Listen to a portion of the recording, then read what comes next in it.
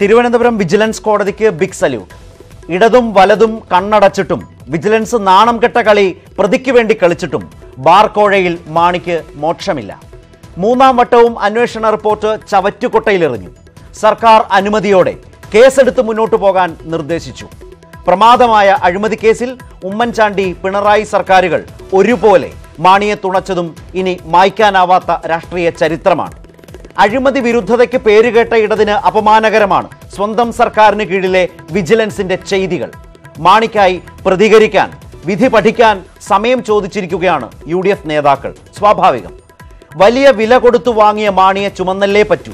V എസും L D F കൺവീനറും മാണിക്കെതിരെ ഹർജിക്കാരാകുമ്പോഴും വിജിലൻസിന് എങ്ങനെ ഒത്തുകളി സാധ്യമാകുന്നു? ബിഗ് സല്യൂട്ട് കോടതിക്കും മാത്രം. പ്രൈം ഡിബേറ്റ് ചർച്ച ചെയ്യുന്നു. കോടതി പൊളിച്ചത് മാണി വിജിലൻസ് ഒത്തുകളിയോ.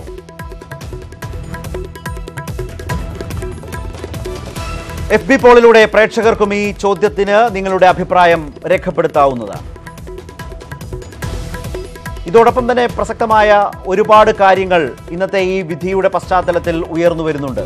ഈ ഒത്തുകളി കോടതി വിധിയിലൂടെ മൂന്ന് തവണയാണ് അന്വേഷണ അന്വേഷണ സംഘം റിപ്പോർട്ട് നൽകിയത്. ആ മൂന്ന് തവണയും മാണിക്ക് അനുകൂലമായ അന്വേഷണ റിപ്പോർട്ട് തള്ളിക്കളയുകയായിരുന്നു കോടതി. കോടതി പൊളിച്ചത് ആ വിധം മാണി വിജിലൻസ് ഒത്തുകളിയാണോ? വിജിലൻസിന്റെ ചെയ്തികൾ ഇടതുമുന്നണിക്ക് അപമാനകരമോ? വിധി പഠിച്ച ശേഷം പ്രതിപക്ഷത്തിന്റെ പ്രതികരണം എന്താകും? സി പി എമ്മിന്റെ നിലപാട് എങ്ങനെയാവും നോക്കിക്കാണുക.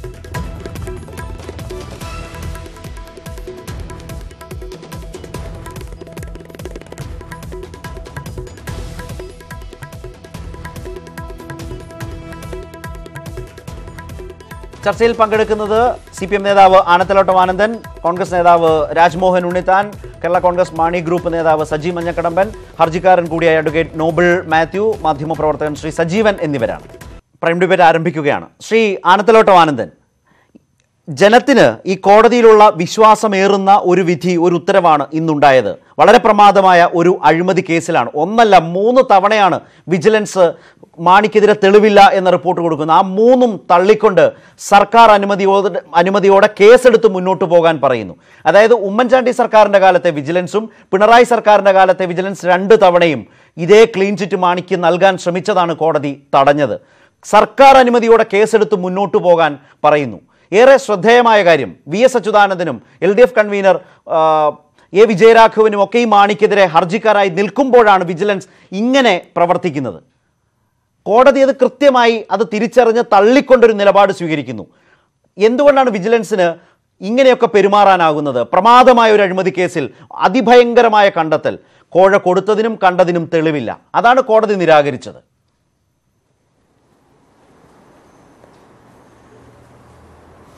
ഇത് യഥാർത്ഥത്തിൽ സുപ്രീം കോടതിയുടെ രണ്ട് മൂന്ന് ദിവസത്തിന് മുമ്പുണ്ടായ ഒരു വിധിയുണ്ട്. ചാരക്കേസിൽ ഐ എസ് ആർ ഒ ചാരക്കേസിൽ അവരെ പ്രതികളെ കുറ്റവിമുക്തരാക്കിക്കൊണ്ട് നഷ്ടപരിഹാരം കൊടുക്കണമെന്ന് പറഞ്ഞൊരു വിധിയുണ്ട്. മാത്രമല്ല അന്വേഷണ ഉദ്യോഗസ്ഥന്മാരുടെ മേൽ അതും അവർക്ക് അവരുടെ മേൽ പിഴ ഈടാക്കാനും നടപടി സ്വീകരിക്കാനും തുടരന്വേഷണം നടത്താനുള്ള ഉത്തരവുണ്ടായി. യഥാർത്ഥത്തിൽ ഇതേപോലെ നേരത്തെ ശരത് സൂചിപ്പിച്ചതുപോലെ എല്ലാ തെളിവുകളും ഉണ്ടായിരുന്നിട്ട് ആ തെളിവുകൾ കോടതി മുമ്പിൽ സമർപ്പിക്കാതെ അതിനുള്ള എവിഡൻസ് ഹാജരാക്കാതെ കേസ് പ്രതിയെ രക്ഷിക്കാൻ സഹായകമായ രീതിയിൽ കുറ്റപത്രം സമർപ്പിച്ച ആ ഉദ്യോഗസ്ഥന്മാർക്കെതിരായും ചാരക്കേസിലെ വിധി വന്നതുപോലെ ഒരു വിധി ഉണ്ടാകേണ്ടതാണ്. ഇതിലേതെങ്കിലും രാഷ്ട്രീയ സ്വാധീനത്തിൽ മാണിയെ രക്ഷിക്കാനോ ശിക്ഷിക്കാനോ പോയി എന്ന് ആർക്കും പറയാൻ സാധിക്കില്ല. മൂന്ന് പ്രാവശ്യവും വിജിലൻസ് സമർപ്പിച്ച കുറ്റപത്രം അവർ തള്ളിക്കൊണ്ടാണ് തെളിവുകൾ ഹാജരാക്കാതെ സമർപ്പിച്ചത് തള്ളിക്കൊണ്ടാണ് കോടതി വിജിലൻസ് കോടതിയുടെ ഒരു വിധിയാണ്. ആ കോടതി അതിനകത്ത് വിധി പറയണമെങ്കിൽ അതിൽ കഴമ്പുണ്ട്. ആ കഴമ്പുള്ള ഒരു കേസിൽ തേച്ചു മാച്ച് കളയാൻ അന്വേഷണ ഉദ്യോഗസ്ഥന്മാർ ശ്രമിച്ചു.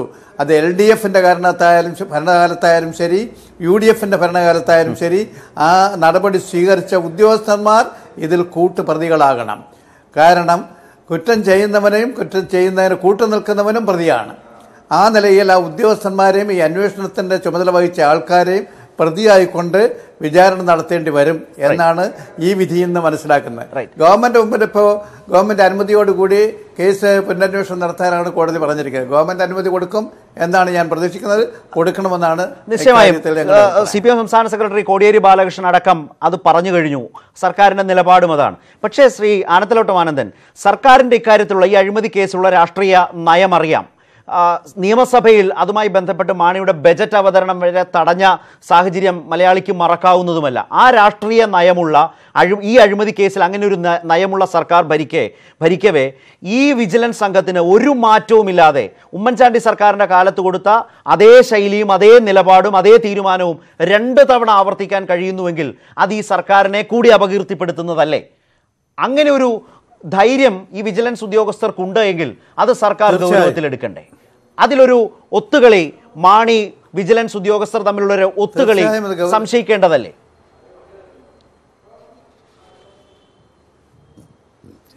അങ്ങനെ ഉണ്ടെന്ന് സംശയിക്കേണ്ടതായിട്ടാണ് ഇരിക്കുന്നത്. ഇക്കാര്യത്തിൽ അന്വേഷണ ഉദ്യോഗസ്ഥന്മാർക്കെതിരായും അന്വേഷണം നടത്തേണ്ടി വരും. അവർക്കെതിരായി നടപടി സ്വീകരിക്കേണ്ടി വരും. അതാണ് ഈ കേസിൽ കോടതി മൂന്ന് പ്രാവശ്യമായി അവർ സമർപ്പിക്കുന്നത് തള്ളിക്കൊണ്ടുള്ള ഈ വിധിനായത്തെന്ന് മനസ്സിലാക്കുന്നത്. അപ്പോൾ കോടതിക്ക് ബോധ്യമാണ്. ഇക്കാര്യത്തിൽ ആവശ്യമായ തെളിവുകൾ ശേഖരിക്കാൻ അവർക്ക് കഴിയുമായിരുന്നു. അതിനുള്ള എവിഡൻസ് ഇവർ ശേഖരിക്കാതിരുന്നാണെന്ന് കോടതിക്ക് ബോധ്യമായിട്ടുണ്ട്. അതിന്റെ അടിസ്ഥാനത്തിലാണ് ഞാൻ പറഞ്ഞത്. നേരത്തെ ഉണ്ടായ സുപ്രീം കോടതിയുടെ വിധിയുടെ കൂടെ അടിസ്ഥാനത്തിൽ ഈ ബന്ധപ്പെട്ട അന്വേഷിച്ച ഉദ്യോഗസ്ഥന്മാർ നിരപരാധികളെ ശിക്ഷിക്കാനും ഇവർ വിചാരിച്ചാൽ സാധിക്കും. കുറ്റവാളികളെ രക്ഷിക്കാനും ഇവർ വിചാരിച്ചാൽ സാധിക്കും.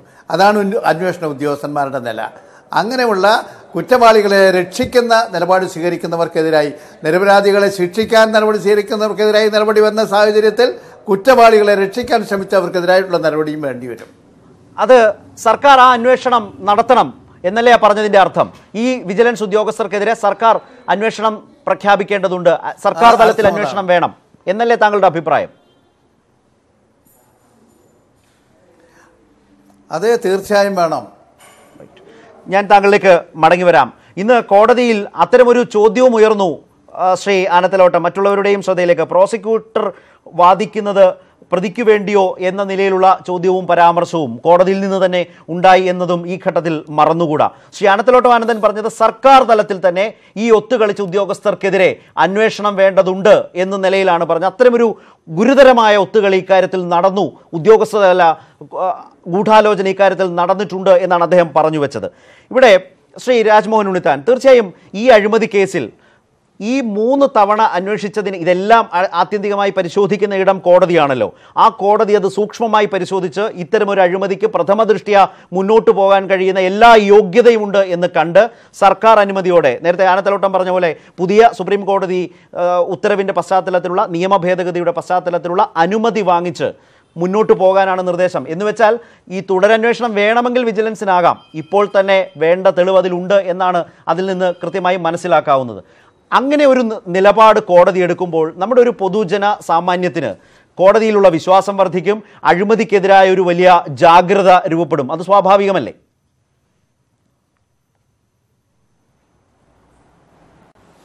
തീർച്ചയായിട്ടും ആണല്ലോ.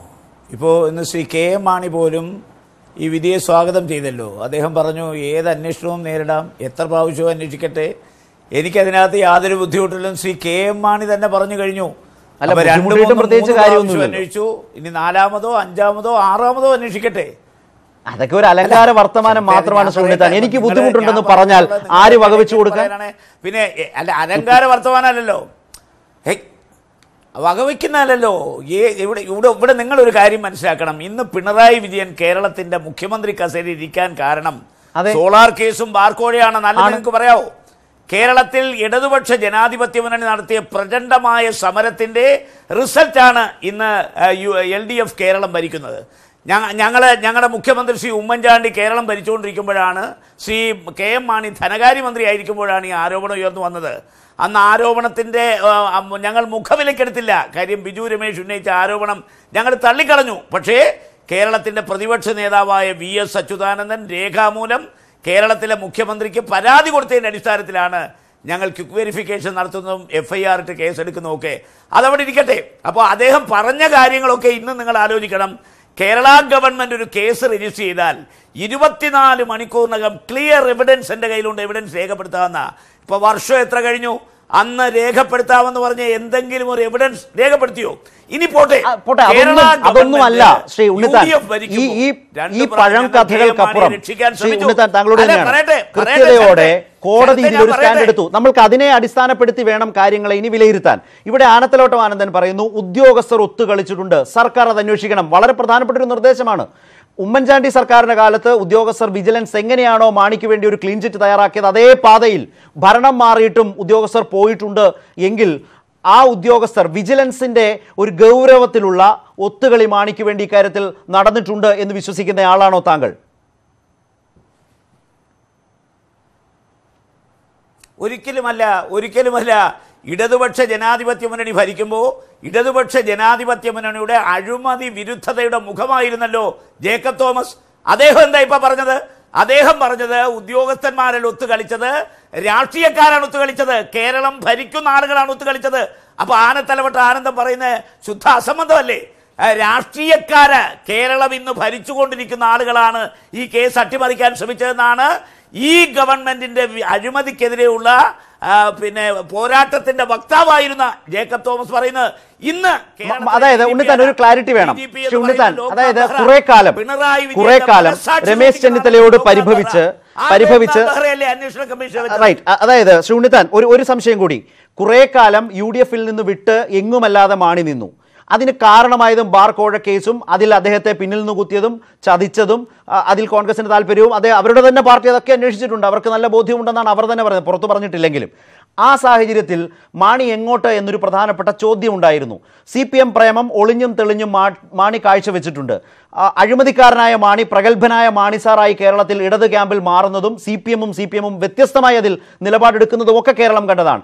ഈ കാലയളവിലെ വിജിലൻസ് താങ്കൾ പറഞ്ഞതുപോലെ ഈ രാഷ്ട്രീയ മാറ്റം കണ്ടുകൊണ്ട് രാഷ്ട്രീയ താല്പര്യത്തോടെ മാണിക്ക് വേണ്ടി നിന്നു. അതാണ് താങ്കൾ പറഞ്ഞ ഉദ്യോഗസ്ഥ തലത്തിൽ മാത്രമല്ല ജേക്കബ് തോമസ് പറഞ്ഞതുപോലെ രാഷ്ട്രീയ തലത്തിലെ തന്നെ താല്പര്യമാണ് ഈ കേസിനെ ഈ വിധം അട്ടിമറിച്ചിട്ടുണ്ടെങ്കിൽ സംഭവിച്ചത്. അതാണോ ശ്രീ ഉണ്ണിത്താൻ പറഞ്ഞത്? ശരത്തെ ഇപ്പോൾ കോടതിയുടെ വിധി വന്നിരിക്കുന്ന എന്താണ്? വിജിലൻസ് തെളിവുകൾ ശേഖരിക്കാതെയാണ് ഈ ഇതിന്റെ ഇത് കോടതി സമർപ്പിച്ചിരിക്കുന്നത്. അതുകൊണ്ട് തെളിവുകൾ ശേഖരിക്കാൻ അനാവശ്യമായ ഭേദഗതിയുടെ അടിസ്ഥാനത്തിൽ പുനരന്വേഷണം വേണം. ആ അന്വേഷണത്തിന് ഗവൺമെന്റ് സാങ്ഷൻ മേടിക്കാനാ പറഞ്ഞത്. അപ്പോൾ സ്വാഭാവികമായി ഈ റിപ്പോർട്ട് ആരാ കോടതി കൊടുത്തത്? ഈ കോടതി കൊടുത്ത റിപ്പോർട്ട് ആരാ കൊടുത്തത്? ഈ ഗവൺമെന്റിലെ വിജിലൻസ് ഉദ്യോഗസ്ഥന്മാരാണ് കൊടുത്തത്. ആ വിജിലൻസ് ഉദ്യോഗസ്ഥന്മാരെ നിയമിച്ചതാരാ ആ വിജിലൻസ് ഉദ്യോഗസ്ഥന്മാരെ നിയമിച്ചത് ഇടതുപക്ഷ ജനാധിപത്യ മുന്നണി ഗവൺമെന്റ് ആണ് അന്ന് വിജിലൻസ് ഡയറക്ടർ ആരാ?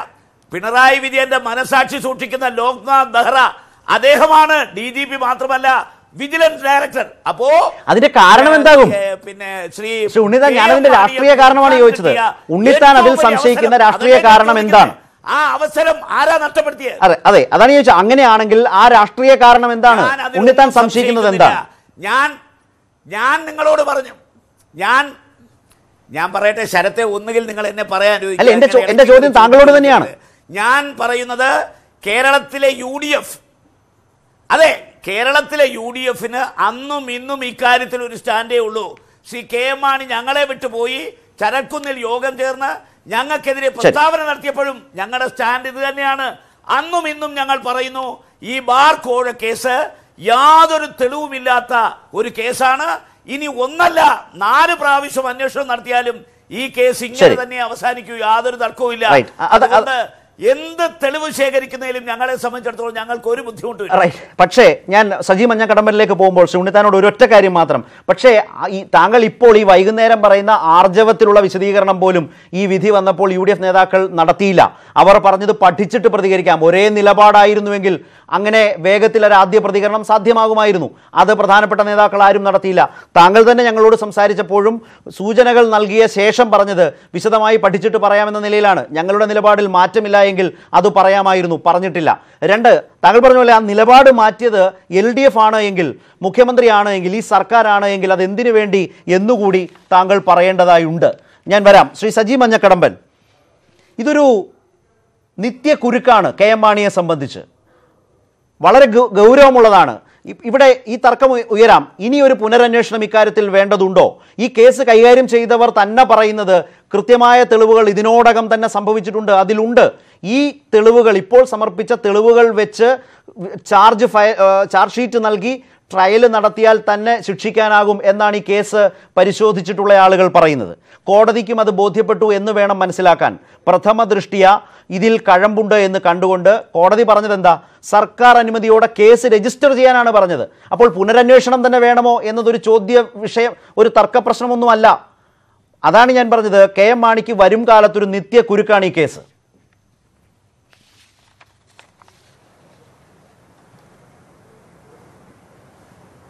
ഇത് കഴിഞ്ഞ നാല് വർഷമായിട്ട് തുടങ്ങിയതാണല്ലോ. അതുകൊണ്ടാണ് തീർന്നു പോയില്ലല്ലോ. തുടങ്ങി. ഓരോ ദിവസവും ഒന്നെങ്കിൽ കോടതി ഒരു കോടതിയിൽ നിന്ന് വളരെ പ്രധാനപ്പെട്ട എതിരായ വിധി നിങ്ങൾക്ക് വന്നു കഴിഞ്ഞില്ലേ? സജി. ഒരു അന്വേഷണ ഉദ്യോഗസ്ഥൻ. അദ്ദേഹം എന്തെങ്കിലും ഒരു പ്രസ്താവന ഇറക്കിയല്ല ഞാൻ പറയട്ടെ. ഞാൻ പറയട്ടെ. ചർച്ച ആ ചർച്ച നടക്കുന്നു. ഇപ്പൊ സ്വാഭാവികമായിട്ടും പ്രതിപക്ഷ കക്ഷികൾ ചില ആളുകൾ വീണ്ടും ഇത് അന്വേഷിക്കണമെന്ന് കോടതിയിൽ പരാതി കൊടുത്തു. കോടതി പറഞ്ഞു അങ്ങനെ ഉണ്ടെങ്കിൽ അന്വേഷിക്കട്ടെ? ലളിതമല്ല സജി. മാണി സാർ എന്താ പറഞ്ഞത്? നൂറ് വട്ടം അന്വേഷണം നടക്കട്ടെ.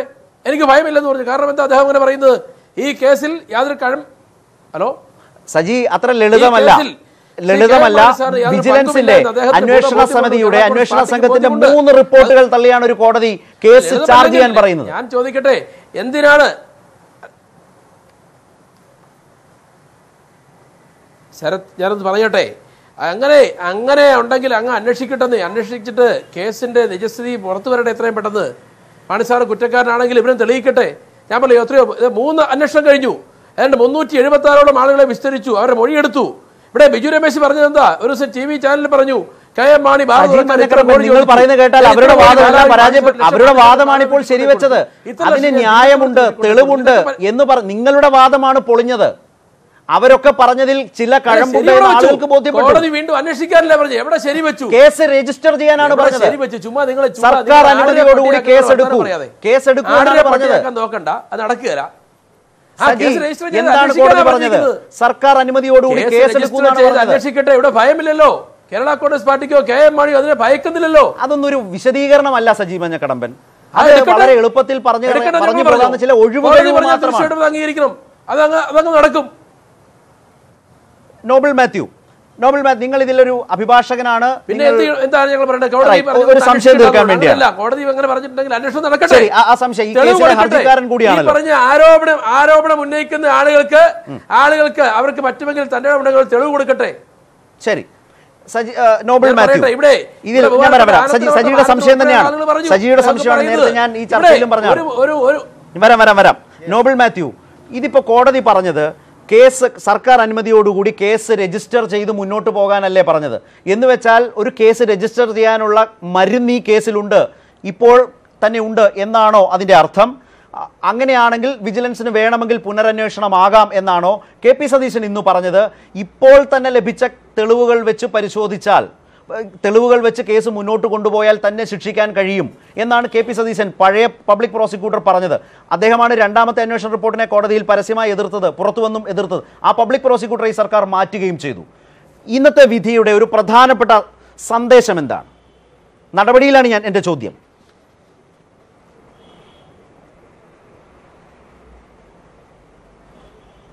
ഇന്നത്തെ വിധിയുടെ പ്രധാനപ്പെട്ട സന്ദേശം ഞാൻ പറയാം. ആദ്യമേ യു ഡി എഫിന്റെ കാലത്ത് പ്രതിപക്ഷ നേതാവ് വി എസ് അച്യുതാനന്ദൻ കൊടുത്ത പരാതിയിൽ ക്രൈം രജിസ്റ്റർ ചെയ്യാനായിട്ട് ക്യുക്ക് വെരിഫിക്കേഷൻ നടത്തി. അതിനുശേഷം ക്രൈം രജിസ്റ്റർ ചെയ്തു. ക്രൈം രജിസ്റ്റർ ചെയ്ത് അന്വേഷണം നടത്തി. അന്വേഷണം നടത്തി സുകേശൻ ആദ്യത്തെ റിപ്പോർട്ട് ഫയൽ ചെയ്തു. റെഫർ റിപ്പോർട്ട് ഫയൽ ചെയ്തു. ബഹുമാനപ്പെട്ട കെ എം മാണി കുറ്റക്കാരനല്ല എന്ന് പറഞ്ഞുകൊണ്ട് റെഫർ റിപ്പോർട്ട് ഫയൽ ചെയ്തു. അപ്പോൾ അങ്ങനെ റെഫർ റിപ്പോർട്ട് ഫയൽ ചെയ്തപ്പോൾ ഞാനടക്കം വി മുരളീധരൻ അടക്കം വി എസ് അച്യുതാനന്ദൻ അടക്കം അതിനെതിരെ പരാതി ഒബ്ജക്ഷൻ കൊടുത്തു. അങ്ങനെ ഒബ്ജക്ഷൻ കൊടുത്ത് അന്ന് വിജിലൻസ് കോടതിയിൽ വന്നപ്പോൾ വിജിലൻസ് കോടതി ഞങ്ങളുടെ ഒബ്ജക്ഷൻസ് സ്വീകരിച്ചുകൊണ്ട് രണ്ടാമത് തുടരന്വേഷണം നടത്തണം എന്ന് പറഞ്ഞ് വിധിയുണ്ടായി. ആ വിധിക്കെതിരെ ബഹുമാനപ്പെട്ട കെ എം മാണി ഹൈക്കോടതിയെ സമീപിച്ചു. കെ എം മാണി മാത്രമല്ല അന്നത്തെ നോബൽ വിജിലൻസും അതെല്ലാം അറിയാം. അത്. മലയാളിക്ക് പച്ചവെള്ളം പോലെ അറിയാം. നോബൽ അതല്ല പ്ലീസ് സീസറിന്റെ സമയക്കുറവുണ്ടാണ് എനിക്ക് സജീവനിലേക്ക് കൂടി പോകണം നോബൽ അറിയാൻ ആഗ്രഹിക്കുന്ന കാര്യം. ഇന്ന് കോടതി പറഞ്ഞിരിക്കുന്ന ഈ ഓർഡറിലെ ഓപ്പറേഷണൽ പാർട്ട് എങ്ങനെയാണ്? മുന്നോട്ട് എങ്ങനെയാണ്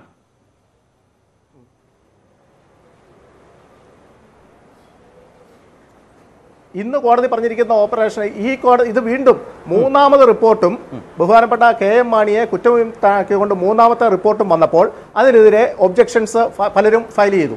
ആ ഒബ്ജക്റ്റേഴ്സിനെ കേട്ടു. അത് കേട്ട സമയത്താണ് പ്രിവെൻഷൻ ഓഫ് കറപ്ഷൻ ആക്ട് ഓർഡറിനെ കുറിച്ച് പറയൂ പ്ലീസ് ഈ ഓർഡറിൽ എന്താണ് പറയുന്നത്? ഉടനടി കേസ് രജിസ്റ്റർ ചെയ്ത് മാണിയെ പ്രതിയാക്കി മുന്നോട്ട് പോകാനാണോ? അതോ ഇനിയും അന്വേഷിച്ച് മാത്രമേ കഴിയൂ എന്നാണോ ഞാൻ പറയാം പറയാം. കേസ് രജിസ്റ്റർ ചെയ്തിരിക്കുന്നു. അല്ല case already case already register ചെയ്ത് കഴിഞ്ഞിരിക്കുന്നു. മാണി കുറ്റവിമുക്തനായിക്കൊണ്ടുള്ള ആ റിപ്പോർട്ട് റെഫർ റിപ്പോർട്ട് പാടില്ല എന്ന് പറഞ്ഞു കൂടുതൽ തുടർ അന്വേഷണം നടത്താൻ പറഞ്ഞു. അപ്പൊ വീണ്ടും കേസ് രജിസ്റ്റർ ചെയ്യേണ്ട. കേസ് ഓൾറെഡി രജിസ്റ്റർ ചെയ്ത് കഴിഞ്ഞിരിക്കുന്നു. അതിന് സാങ്ഷൻ വേണം. ആ സാങ്ഷൻ ഗവർണറുടെ മുമ്പാകെയാണ് എടുക്കേണ്ടത്. ആ സാങ്ഷൻ എടുത്തുകൊണ്ട് നിങ്ങൾ വരൂ. അപ്പൊ അതിനുശേഷം ഡിസംബർ പത്തിന് ഫർദർ ഉത്തരവ് ശരി. ഒരു- ലളിതമായ ഉത്തരം. ചുരുക്കി ചുരുക്കിയ ഒരു ഉത്തരം. അതായത് ഇനി തുടരന്വേഷണം നടത്തിയാൽ മാത്രമേ ഇങ്ങനെ, പറഞ്ഞിരിക്കുന്നത്. ഇനി തുടരന്വേഷണം നടത്തിയാൽ മാത്രമേ ഈ കേസിൽ വളരെ കൃത്യമായ ഒരു മുന്നോട്ട് പോക്കുണ്ടാകൂ എന്നതിനർത്ഥമുണ്ടോ? ഇനി തുടരന്വേഷണം നടത്തി തെളിവ് സമാഹരിച്ചാൽ മാത്രമേ ഈ കേസിന് നിലനിൽപ്പുണ്ടാകൂ. അങ്ങനെ വന്നാൽ ഈ വിധി ഒരു സാങ്കേതികം മാത്രമാണ്. ഇതിന്റെ ഇതിന്റെ വാദത്തിനിടെ ഇതിന്റെ വാദ ഈ കേസിന്റെ അല്ല ഈ കേസിന്റെ വാദത്തിനിടെ രണ്ട് അഭിപ്രായം വന്നു. ഒന്ന് ഞാൻ ഒന്ന് ഇപ്പോൾ തന്നെ കിട്ടിയ തെളിവുകളുടെ അടിസ്ഥാനത്തിൽ ഫൈനൽ റിപ്പോർട്ട് കൊടുത്ത് കോടതിക്ക് കൊഗ്നീസൻസ് എടുത്ത് തെളിവ് നടത്തുകയാണ്. കോടതിയാണ് ചാർജ് ഫ്രെയിം ചെയ്ത് കോടതിയിൽ കേസ് നടത്തിയാൽ ബഹുമാനപ്പെട്ട കെ എം മാണിയെ ശിക്ഷിക്കും എന്നൊരു അഭിപ്രായം പറഞ്ഞു. ഞാനൊക്കെ അഭിപ്രായം പറഞ്ഞു അതല്ല കൂടുതൽ തെളിവ്. Nine one six holes mark evidence കിട്ടത്തക്ക രീതിയിലുള്ള തെളിവുകൾ ശേഖരിക്കേണ്ടിയിരിക്കുന്നു. ആ തെളിവുകൾ പലതും ശേഖരിച്ചിട്ടില്ല. അത് യു ഡി എഫിന്റെ കാലത്താണെങ്കിലും എൽ ഡി എഫിന്റെ കാലത്താണെങ്കിലും ശേഖരിച്ചിട്ടില്ല. അതുകൊണ്ട് തുടരന്വേഷണം പുനരന്വേഷണമെന്നോ ഒന്ന് പറഞ്ഞിരിക്കുന്നത് പറയാവുന്നതിന്റെ സാധ്യത ശ്രീ സജീവൻ. ഇതിന്റെ ഒരു ഇതിന്റെ ഒരു പൊതുവായ ഒരു രാഷ്ട്രീയ വിശകലനമാണ് വേഗത്തിൽ ചുരുക്കം സമയമാണ്. താങ്കൾ മറ്റൊരു ചർച്ചയിലേക്ക് പോകുമെന്ന് അറിയിച്ചത് കൊണ്ടുകൂടിയാണ് ഇവരിലേക്ക് വന്നിട്ട് വരാമെന്ന് വിചാരിച്ചിട്ടാണ്. ഇവിടെ ഈ പറഞ്ഞ പോലെ ഒരു വല്ലാത്ത ഒത്തുതീർപ്പ് സ്വരം ഇക്കാര്യത്തിലുണ്ടായിരുന്നു ഇപ്പോൾ പഴി ഉദ്യോഗസ്ഥർക്ക് മാത്രം. പണ്ടും ഈ കേസുകൾ അട്ടിമറിച്ച ചരിത്രം കേരളത്തിലുണ്ട്. ഐസ്ക്രീം കേസിലൊക്കെ ഒരുപാട് തവണ നമ്മളത് കണ്ടതാണ്. ആ നിലയിലേക്ക് ഇടം പിടിക്കാവുന്ന ഒരു ഒത്തുതീർപ്പിന്റെ രാഷ്ട്രീയ എതിർപ്പുകളില്ലാത്തൊരു ഒത്തുതീർപ്പിന്റെ ചരിത്രമാണോ പാം ഈ കേസ് ബാർ കേസ് ഇന്ന് കോടതിയിൽ കണ്ടത് അതിൽ നിന്ന് വരുന്നത്. ചരിത്ര ഇതുവരെ കണ്ട ഒത്തുതീർപ്പുകളിൽ നിന്ന് വ്യത്യസ്തമായിട്ട് എല്ലാവരും ചേർന്ന് ഒത്തുതീർക്കുന്ന ഒരു കേസായിട്ട് ഇത് മാറുകയാണ്. നേരത്തെ ശരത്ത് തുടക്കത്തിൽ പറഞ്ഞ പോലെ ഇത് മാണിയും വിജിലൻസും തമ്മിലൊരു ഒത്തുതീർപ്പല്ല. ഇത് വിജിലൻസിന് ഒന്നും ചെയ്യാനില്ല. കാരണം വിജിലൻസ് റിപ്പിന്റെ കാര്യത്തിൽ ആദ്യം തന്നെ അവർ പറഞ്ഞിട്ടുണ്ട് വേണ്ടത്ര തെളിവുണ്ട്. സുകേഷിന്റെ ആദ്യത്തെ പ്രതികരണം തന്നെ അറുപത് ശതമാനത്തോളം പ്രഥമ ദൃഷ്ട്യാ തന്നെ അറുപത് ശതമാനത്തോളം തെളിവ് ഞങ്ങൾക്ക് കിട്ടിക്കഴിഞ്ഞു എന്നുള്ളതാണ്. അപ്പം ആദ്യമേ തെളിവുണ്ടായിരുന്നു. ആ തെളിവുണ്ടായിരുന്നതിനെ മായ്ക്കുന്നത് ആദ്യത്തെ ആൾ. കുറ്റം ചെയ്ത് നേരത്തെ ആൺതലോട്ടം പറഞ്ഞില്ല? കുറ്റം ചെയ്ത ആൾ മാത്രമല്ല കുറ്റം ചെയ്യാൻ പ്രേരിപ്പിച്ച ആളോ അതിന് കൂട്ടുനിന്ന ആളുകളൊക്കെ ശിക്ഷിക്കാൻ അർഹരാണെങ്കിൽ വിജിലൻസ് ഉദ്യോഗസ്ഥരെയല്ല അത് ഇതിന് കൂട്ടുനിന്ന രാഷ്ട്രീയക്കാരെയാണ് ആദ്യം ശിക്ഷിക്കേണ്ടത്. ആദ്യത്തെ ഘട്ടത്തിൽ ഈ ബാബുവിനെ രക്ഷിക്കാൻ വേണ്ടി യു ഡി എഫ് ഒരു കള്ളക്കളി കളിച്ചു. ആദ്യത്തെ മാണിക്കെതിരെ വന്ന മാണി രാജിവെക്കേണ്ട ഘട്ടം വന്നപ്പോൾ ഈ ഇരട്ട നീതിയുടെ കാര്യം മാണി ഉന്നയിച്ചപ്പോൾ ബാബുവിനെ രക്ഷിക്കേണ്ട അവസ്ഥ അവസ്ഥയിൽ ഈ യു ഡി എഫ് അവിടെ റെഫർ റിപ്പോർട്ട് കൊടുക്കാൻ വിജിലൻസിനെ ശക്തമായിട്ട് സ്വാധീനിച്ചു എന്ന് തന്നെയാണ് നമ്മൾ വിചാരിക്കുന്നത്. കാരണം അതുവരെ തെളിവുണ്ട് എന്ന് പറഞ്ഞ ഉദ്യോഗസ്ഥന്മാർ പിന്നീട് മലക്കം ഇടതു സർക്കാരിനും വലിയ ഉത്തരവാദിത്വമുണ്ട് എന്നാണോ ശ്രീ സജീവൻ? ഒറ്റ വാചകത്തിൽ. ശക്തം ഇടതു മുന്നണി ഈ പുതിയ സാഹചര്യത്തിൽ ഇടതുമുന്നണിക്ക് അതിന്റെ ഉത്തരവാദിത്വം തീർച്ചയായിട്ടും. ഒഴിയാനാവില്ലെന്നാണോ? ഇന്ന് ഇന്ന് വന്ന ഇന്ന് ഒഴിയാനാവില്ല കാരണം ആദ്യത്തെ യു ഡി എഫ് സർക്കാർ ഒരു റെഫർ റിപ്പോർട്ടേ യു ഡി എഫ് സർക്കാരിന്റെ കാലത്ത് ഒരു റെഫർ റിപ്പോർട്ട് മാത്രമേ കൊടുത്തുള്ളൂ. എൽ ഡി എഫിന്റെ സമയത്ത് രണ്ടെണ്ണമാണ്. ഈ ഉദ്യോഗസ്ഥന്മാരൊക്കെ മോശമാണെങ്കിൽ അവരെ മാറ്റിയിട്ട് കുറെ കൂടി ശക്തമായിട്ടുള്ള അന്വേഷണം നടത്താൻ ഈ സർക്കാർ തയ്യാറാവേണ്ടിയിരുന്നു. അപ്പൊ അതുകൊണ്ട് ഉത്തര ഈ വിധിയുടെ ശരിയായ തിരിച്ചടി ഉണ്ടാവുന്ന സർക്കാരിന് തന്നെയാണ് ഇപ്പോഴത്തെ എൽ ഡി എഫ് സർക്കാർ അതിന്റെ ഉത്തരവാദിത്തത്തിൽ നിന്ന് ഒഴിഞ്ഞു നിന്നിട്ട് കാര്യമില്ല. തീർച്ചയായും ആ നിലയിൽ ഒരു ഗൗരവപ്പെട്ട അന്വേഷണത്തിന് ഇടതു സർക്കാർ ആഗ്രഹിച്ചിരുന്നില്ലേ എന്നൊരു പ്രധാനപ്പെട്ട ചോദ്യം ഈ ഇന്നത്തെ കോടതി ഉത്തരവ് ബോധ്യപ്പെടുത്തുന്നുണ്ട് അല്ലെങ്കിൽ ഇങ്ങനെ ഒരു ചോദ്യം ഉന്നയിക്കുന്നുണ്ട്. ശ്രീ ആനത്തലവട്ടത്തിലേക്കും അതുപോലെ തന്നെ രാജ്മോഹൻ ഉണ്ണിത്താനിലേക്കും നോബിളിലേക്കും സജി മഞ്ഞക്കടമ്പലിലേക്കുമാണ് മടങ്ങി വരുന്നത്. പ്രൈം ഡിബേറ്റ് തുടരുകയാണ്. ശ്രീ ആനത്തലോട്ടം ആനന്ദൻ നേരത്തെ താങ്കൾ പറഞ്ഞത് വളരെ പ്രധാനപ്പെട്ട ഒരു കാര്യമാണ്. ഉദ്യോഗസ്ഥ വീഴ്ച എന്നത് അന്വേഷിക്കണമെന്ന് വളരെ പ്രധാനപ്പെട്ട ഒരു സി പി എം നേതാവ് പറയുന്നതിന് വളരെ വലിയ പ്രാധാന്യമുണ്ട്. അതാണ് താങ്കൾ ചെയ്തത്. അത്രമേൽ അഭിനന്ദനാർഹമാണ്. പക്ഷേ നേരത്തെ സജീവൻ പറഞ്ഞതുപോലെ അത് ഉദ്യോഗസ്ഥരെ മാത്രം പഴിചാരി ഈ സർക്കാരിന് ഒഴിയാനാവില്ല. കാരണം ഉമ്മൻചാണ്ടി സർക്കാരിന്റെ കാലത്ത് ആദ്യത്തെ റിപ്പോർട്ട് കോടതി തള്ളിയതാണ്.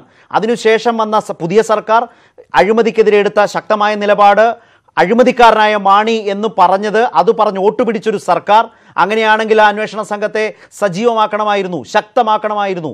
അങ്ങനെ പുനഃസംഘടിപ്പിച്ച് ഗൗരവമായ അന്വേഷണത്തെ മുന്നോട്ട് കൊണ്ടുപോയില്ല. കാരണം മാണി ആ കാലത്ത് യു ഡി എഫ് വിട്ട് പുറത്തു നിന്നു. മാണി ഇടത്തേക്കോ വലത്തേക്കോ എന്ന മട്ടിൽ ചാഞ്ഞു നിന്നപ്പോൾ ആ സാഹചര്യത്തെ സി പി എമ്മും ഇടതുമുന്നണിയും കണ്ടു.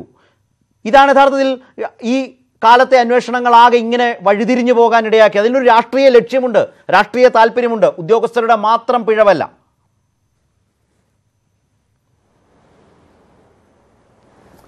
ഉദ്യോഗസ്ഥരാണ് അന്വേഷണം നടത്തുന്നത്. രാഷ്ട്രീയ നേതൃത്വം യു ഡി എഫ് ആയാലും എൽ ഡി എഫ് ആയാലും ആ വസ്തുതാ വിരുദ്ധമായി ഏതെങ്കിലും കുറ്റവാളിയെ രക്ഷിക്കാനാണ് രാഷ്ട്രീയ നേതൃത്വം പറയുന്നതെങ്കിൽ അത് അനുസരിക്കാനുള്ള ബാധ്യത ഉദ്യോഗസ്ഥനില്ല. അത് അനുസരിച്ചതിന്റെ ബാ- ഏ, ബ- പ- ആ, ബ- ബാധ്യതയാണ് ഇപ്പോൾ നമ്പിനാരായണൻ കേസിൽ ഐ എസ് ആർ ഒ ചാര കേസിൽ കേരളത്തിലെ പ്രമുഖരായ ഉദ്യോഗസ്ഥന്മാർ ഇപ്പം നേരിട ഏറ്റെടുക്കേണ്ടി വരുന്നിരിക്കുന്നത് അതൊരു പാഠമാണ്. ഇവിടെ ആ- രാഷ്ട്രീയ പാഠം അന്നത്തെ മുഖ്യമന്ത്രിക്ക് ശ്രീ ആനത്തിലോട്ടം അത് അവിടെ പറഞ്ഞ് അവസാനിപ്പിക്കരുത്. അന്നത്തെ ആ രാഷ്ട്രീയ അന്നത്തെ അതിന്റെ അനുഭവം അന്നത്തെ സർക്കാരിനുണ്ടായി മുഖ്യമന്ത്രിക്കുണ്ടായി എന്ന് പറയുന്ന പോലെ ഒരു തവണ തള്ളി രണ്ടാം തവണ സർക്കാർ വന്നപ്പോൾ വീണ്ടും അന്വേഷണ റിപ്പോർട്ട് തള്ളിയെങ്കിൽ ജാഗ്രതയോടെ ആ വിഷയത്തിൽ ഇടപെടാമായിരുന്നു. ചെയ്തില്ല എന്ന് മാത്രമല്ല വീണ്ടും അതേ പണി വിജിലൻസ് ചെയ്തുവെങ്കിൽ ഈ സർക്കാരിന് അതിൽ വലിയ താല്പര്യമില്ല എന്ന് തന്നെയാണ് മാണി രക്ഷപ്പെടുന്നെങ്കിൽ രക്ഷപ്പെട്ടോട്ടെ എന്നല്ലേ അതിന്റെ അർത്ഥം? അല്ല അങ്ങനെയാണെങ്കിൽ ഇപ്പോൾ തന്നെ നോക്കൂ നിങ്ങളെ ഉദ്യോഗസ്ഥന്മാരുടെ സ്ഥിതി. എൽ ഡി എഫ് കൺവീനർ കക്ഷി ചേരാനായിട്ട് അപേക്ഷ കൊടുത്തു. അതിനെതിരായി അരമണിക്കൂർ വാദിച്ചിരിക്കുന്നു. കക്ഷി ചേർക്കാൻ പാടില്ല എന്ന് പറഞ്ഞുകൊണ്ട്. അതിന്റെ അർത്ഥം എന്താ? അതിന്റെ അർത്ഥം എന്താ? ഈ ഉദ്യോഗസ്ഥന്മാർ തന്നെ ഇതിനെല്ലാം കൂട്ടുനിൽക്കുന്നല്ലേ രാഷ്ട്രീയ നേതൃത്വം ആണെങ്കിൽ ഈ ഉദ്യോഗസ്ഥന്മാർ പറയട്ടെ. അപ്പൊ ഈ രാഷ്ട്രീയ നേതൃത്വത്തിന് ഈ സർക്കാരിന് കേരളത്തിലെ വിജിലൻസിന് വിജിലൻസിന്റെ മേൽ ഒരു നിയന്ത്രണവും ശ്രീ ആനത്തലോട്ടെ ഒരു ഈ സർക്കാരിന് ഒരു നിയന്ത്രണവും ഈ വിജിലൻസിന് മേലില്ലേ? അത് വഴി നേരത്തെ ഞാൻ ഞാൻ ഞാൻ പറഞ്ഞോട്ടെ? ശ്രീ ഉണ്ണിത്താൻ നേരത്തെ പറയുകയുണ്ടായല്ലോ. ജേക്കബ് തോമസ് അദ്ദേഹം പതിനാറ് മാസക്കാലം ഈ ഗവൺമെന്റ് വന്നതിന് ശേഷം വിജിലൻസ് ഡയറക്ടറായിരുന്നു അദ്ദേഹമാണ് പറഞ്ഞത് സുകേശൻ സമർപ്പിച്ച റിപ്പോർട്ടിൽ അറുപത് ശതമാനവും തെളിവുകൾ ഹാജരാക്കി. എന്തുകൊണ്ട് മിസ്റ്റർ ജേക്കബ് തോമസ് ആ കേസ് കൈകാര്യം ചെയ്തില്ല? കോടതിയിൽ ഹാജരാക്കില്ല. അതിനനുസരിച്ച് റിപ്പോർട്ട് കൊടുക്കാൻ താഴെയുള്ള ഉദ്യോഗസ്ഥന്മാരോട് പറഞ്ഞില്ല. അദ്ദേഹമായിരുന്നല്ലോ ഡയറക്ടർ. അത് മുഖവിലേക്ക് എടുക്കുന്നുവെങ്കിൽ താങ്കളുടെ സർക്കാർ എന്തുകൊണ്ട് അത് അതിനനുസരിച്ച് പ്രവർത്തനങ്ങളെ. പുനഃക്രമീകരിച്ചില്ല? ശ്രീയാന തലവട്ടം? ആ ഗൗരവം അതിൽ കാട്ടുന്നുവെങ്കിൽ പിന്നിലെ പിന്നാലെ വന്ന പിണറായി സർക്കാർ എന്തുകൊണ്ട് അതിനനുസരിച്ച് ഗൗരവത്തോടെ കണ്ടില്ല? അതുകൊണ്ടാണല്ലോ ജനം ആ ഉമ്മൻചാണ്ടി സർക്കാരിനെ അധികാരത്തിൽ നിന്ന് താഴെ ഇറക്കിയത്. ഞാൻ പറയുന്നത് പിണറായി ഇല്ല ഞാൻ ശരത്ത് പറഞ്ഞത് തെറ്റിദ്ധരിച്ചിരിക്കുന്നത് ശരത്ത് ഞാൻ പറഞ്ഞത് തെറ്റിദ്ധരിച്ചിരിക്കുന്നത്. എന്താന്ന് വെച്ചാൽ പതിനാറ് മാസക്കാലം ഈ എൽ ഡി എഫ് ഗവൺമെന്റ് ഒക്കെ ഉള്ള വിജിലൻസ് ഡയറക്ടർ ആയിരുന്നു. ജേക്കബ് തോമസ്. മനസ്സിലായി. അദ്ദേഹത്തിന്റെ കൈകാലികൾ കെട്ടിയെന്ന് അദ്ദേഹത്തിന് പറയാമോ? അദ്ദേഹം നീതിമാനായ ഉദ്യോഗസ്ഥനെന്നല്ലേ എല്ലാവരും പറയുന്നത്? ആ നീതിമാനായ ഉദ്യോഗസ്ഥനാണെങ്കിൽ ഈ കേസിൽ അറുപത് ശതമാനം സുകേശന്റെ അന്വേഷണം ശരിയാണ് തെളിവിൽ കിട്ടിയിട്ടുണ്ടെന്ന് സർട്ടിഫൈ ചെയ്ത ജേക്കബ് തോമസ്. എന്തുകൊണ്ട് അതിനനുസരണമായി കുറ്റപത്രം സമർപ്പിച്ചില്ല? അദ്ദേഹത്തിന്റെ അയാളുടെ സപ്പോർട്ടിന് ഉണ്ണിത്താൻ കണ്ടെത്തിയത്. അപ്പം ഞാൻ ഈ പറയുന്നത് ഇവർ കാണിക്കുന്ന തോന്നിയാസത്തിന് രാഷ്ട്രീയ നേതൃത്വത്തിന്റെ പേര് പറഞ്ഞുകൊണ്ട് ഇവർക്കൊരു നിരപരാധിയെ ശിക്ഷിക്കണമെന്ന് താല്പര്യമുണ്ടെങ്കിൽ ശിക്ഷിക്കാനുള്ള തരത്തിൽ അവർ തെളിവുകൾ ശേഖരിക്കും. കുറ്റവാളിയെ രക്ഷിക്കണമെങ്കിൽ രക്ഷിക്കാൻ വേണ്ടിയിട്ടുള്ള രീതിയിൽ തെളിവുകൾ നശിപ്പിക്കും. ഇത് രണ്ടും ചെയ്യുന്നത് ഈ ഉദ്യോഗസ്ഥന്മാരാണ്. അതുകൊണ്ടാണ് സുപ്രീം കോടതിയുടെ വിധിയിൽ നമ്പിനാരായണൻ കേസിൽ ഇപ്പോൾ എടുത്തതുപോലെ ഇവിടെ ഇപ്പോൾ വിജിലൻസ് കോടതിയും ഈ മൂന്ന് പ്രാവശ്യം കൊണ്ടുവന്ന റിപ്പോർട്ടും തള്ളിക്കളഞ്ഞിട്ടുണ്ട്. അടുത്ത തവണ റിപ്പോർട്ട് കൊണ്ട് വരുമ്പോഴും ഇത് പരിശോധിച്ച് അവർക്ക് ബോധ്യമാകുന്ന വിധത്തിൽ ഒരു നടപടി സ്വീകരിച്ചെങ്കിൽ മാത്രമേ മാതൃകാപരമായി ഇത്തരം കേസുകൾ ഉദ്യോഗസ്ഥന്മാർ പെരുമാറും. ഞാൻ വരാം ചെയ്യണമെന്നുള്ളതാണ് എന്റെ ശ്രീ ഉണ്ണിത്താൻ ആ നിലയിൽ ആനത്തലവട്ടത്തിന്റെ നിലപാടിനോട് എത്രമാത്രം യോജിപ്പുണ്ട്? യു ഡി എഫിന്റെ നിലപാട് ഒന്നു തന്നെയാണ് മാണിയുടെ കാര്യത്തിൽ. ശരിയാണ്. കാരണം അന്ന് മാണി യു ഡി എഫിനൊപ്പമായിരുന്നു ഇടക്കാലത്ത് മാണി പുറത്തായിരുന്നു. ഇപ്പോൾ വീണ്ടും മാണി കൂടെ ആയതുകൊണ്ട് അതേ നിലപാട് തന്നെ തുടരുന്നു. സ്വാഭാവികമാണ്. പക്ഷേ വരാൻ പോകുന്ന ഒരു ലോക്സഭാ തെരഞ്ഞെടുപ്പിലേക്കാണ്. കഴിഞ്ഞ യു ഡി എഫ് കഴിഞ്ഞ നിയമസഭാ തെരഞ്ഞെടുപ്പിൽ യു ഡി എഫിന്റെ ചരിത്ര തോൽവിക്ക് വലിയ സംഭാവന മാണിയും അദ്ദേഹത്തിന്റെ പാർട്ടിയും യു ഡി എഫിന് നൽകിയിട്ടുണ്ട്. എന്നിരിക്കെ വീണ്ടും ഒരു തെരഞ്ഞെടുപ്പിലേക്ക് പോകുമ്പോൾ അഴിമതി വളരെ സജീവമായ ചർച്ചയായി മാറും. ഇന്ന് മാണിയുടെ കാര്യത്തിൽ ഒരു ബാധ്യതയും ഈ സർക്കാരിനില്ല. ഇനി നിലപാട് കുറെ കൂടി കർക്കശമാക്കി എന്നിരിക്കട്ടെ. രാഷ്ട്രീയ പ്രശ്നമായി മാറുന്ന സാഹചര്യം വരും. അങ്ങനെ വന്നാലും യു ഡി എഫിന് തന്നെയാണ് നഷ്ടം.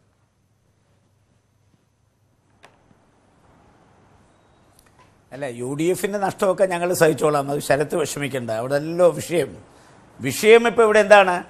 ഇവിടെ ശ്രീ ആനത്തലവട്ടം ആനന്ദൻ ഉദ്യോഗസ്ഥന്മാരെ പഴിചാരി രാഷ്ട്രീയ നേതൃത്വത്തെ രക്ഷിക്കാൻ ശ്രമിക്കുന്നു.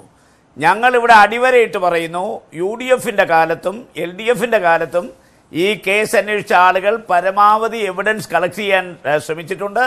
ശ്രീ ബിജു രമേശും ബന്ധപ്പെട്ട ആളുകളും കൊടുത്ത തെളിവുകൾക്ക് കൊറോബറേറ്ററി എവിഡൻസ് ഇല്ലാതെ പോയി എന്നുള്ളതാണ് ഈ കേസ് ഇങ്ങനെ ഭവിക്കാൻ കാരണം. ഇവിടെ ഇപ്പം നമ്മളൊരു കാര്യം പറയും ഞാൻ ജേക്കബ് തോമസിനൊന്നുമല്ല ഈ വിധി ഇടതുപക്ഷ ജനാധിപത്യ മുന്നണിക്ക് അപമാനമാണ്. കാരണം എന്താ? ഈ വിധി ഇടതുപക്ഷ ജനാധിപത്യ മുന്നണിയുടെ വിജിലൻസ് ആണ് കോടതി കൊടുത്തത്. ആ ഈ വിധി സമ്പാദിച്ചത്. അവരല്ലേ ഈ റിപ്പോർട്ട് കൊടുത്തത്?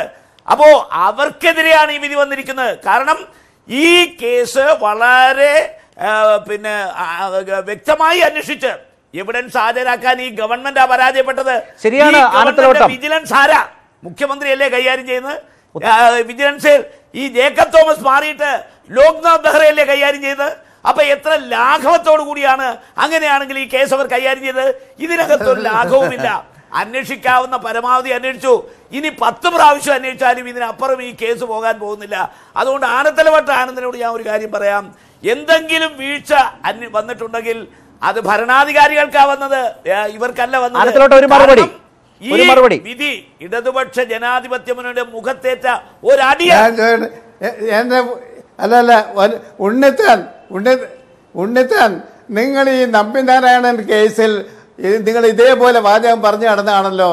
ചാരക്കേസ് ശരി തന്നെ കരുണാകരന്റെ അടുത്ത കേസ് കരുണാകരനെതിരായി കൊണ്ടുവന്നിരിക്കുന്ന കേസ് ശരി തന്നെന്ന് പറഞ്ഞ അയാളെ ശിക്ഷിക്കില്ല എന്നല്ലേ പറഞ്ഞേ? കരുണാകരന് വല്ല പങ്കുണ്ടെന്ന് ഇപ്പം പറയാമോ? രാഷ്ട്രീയ നേതൃത്വത്തിന്? കരുണാകരനാണ് ആ കേസ് ചാർജ് ചെയ്യിച്ചത് അദ്ദേഹത്തിന് രാജിക്കിടയായ സംഭവം നിരപരാധികൾ പീഡിപ്പിക്കപ്പെട്ടത്? ഇതേ ഉദ്യോഗസ്ഥന്മാർ ചിലർ എഴുതി വെച്ചല്ലേ അവരെ കൊണ്ട് ചെയ്യിച്ചല്ലേ നിങ്ങൾ? അത് ഭരിച്ച രാഷ്ട്രീയ നേതൃത്വത്തിന് കരുണാകരന്റെ പങ്കുണ്ടോ? ഉണ്ടെന്ന് നിങ്ങൾ പറ ഏ, ആനത്തലവട്ടം ആനന്ദൻ ആനത്തലവട്ടം ആനന്ദൻ. ഈ? ഞാൻ ഒറ്റ കാര്യം പറയട്ടെ അങ്ങയോട്. ചാരക്കേസും ഈ കേസും തമ്മിൽ തുലനം ചെയ്യരുത്. ഇത് ഇടതുപക്ഷ ഐക്യ ജനാധിപത്യ മുന്നണി കേരളം ഭരിക്കുമ്പോ നിങ്ങൾ പ്രചണ്ഡമായി സമരം നടത്തി അധികാരത്തിൽ വന്നൊരു ഗവൺമെന്റ് ഇന്ന് കേരളം ഭരിക്കുന്നത്. ചാരക്കേസ് ഇതുമായി തുലനമില്ല. കാരണം നിങ്ങൾ ഇന്ന് കേരളം ഭരിക്കാൻ യോഗ്യത നേടിയെടുത്തത് കെ മാണി. മിനിമം ആ വിഷയത്തോടെങ്കിലും ഒരു പ്രതിബദ്ധത കാട്ടണമെന്നാണ് ശ്രീ അദ്ദേഹം പറയുന്നത്. നിങ്ങൾക്ക് നാണമില്ലേ ഈ കേസ് കൈകാര്യം ചെയ്യൽ വീഴ്ച വന്നെന്ന് പറയാൻ? ഞാൻ ചോദിക്കുന്നു